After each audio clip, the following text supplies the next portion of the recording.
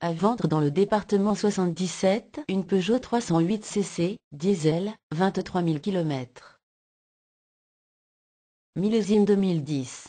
Le prix du véhicule est indiqué sur 321auto.com. Les coordonnées du vendeur figurent dans le détail de l'annonce. Retrouvez cette annonce sur 321auto.com en cliquant sur le lien dans la description.